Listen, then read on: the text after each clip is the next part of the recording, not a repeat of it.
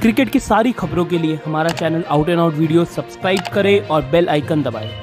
नमस्कार, मेरा नाम है प्रियांशु नवानी और आज का मैच सनराइजर हैदराबाद और गुजरात टाइटंस के बीच खेला जा रहा है और ये मैच आखिरी ओवर तक गया है। माको येंसन आखिरी ओवर डाल रहे हैं और इस वक्त क्रीज पर राशिद खान और राहुल टिवटिया है। और कहीं ना कहीं ये हारी बाजी गुजरात टाइटंस के लिए जीती बाजी हो सकती है, क्योंकि राशिद खान काफ़ी अच्छी बल्लेबाजी कर रहे हैं। और यहाँ से उम्मीद करते हैं कि राशिद खान इस मैच को जिताएँगे।